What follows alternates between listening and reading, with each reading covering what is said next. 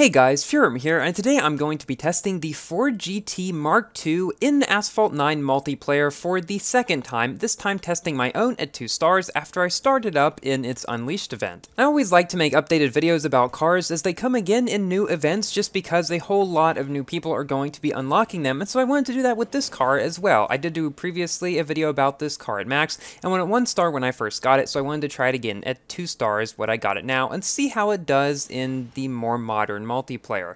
And I did not have very good luck with it at all. You see, this car, even at 2 stars, goes like 200 miles per hour maximum. Usually I only see 199 throughout the race, which is absolute trash for Class B. I mean, even the lowest beginner Class B cars go faster than this, and even most of the Class C cars go faster than this. Even the SRT8 goes 199. I just can't imagine this car being very useful in multiplayer, like, at all. I played probably half a dozen races in it, and this one, the first first one was the only good one that I had. I believe in every single of the other ones, except for maybe one, I got knocked down pretty early on, and the one that I didn't get knocked down in, I was in last place anyway, just because everybody else is going to be in their max Corvettes and Huracans, and it's virtually impossible to do anything with a car this slow. Somehow in this race, I got lucky with a bunch of people messing up toward the beginning, and I got second, which is a very big achievement in this car. Thank you for watching this shockingly short video. Please like it if you've enjoyed, and consider subscribing for more Asphalt and other games content, and I will see you in my next video. Goodbye!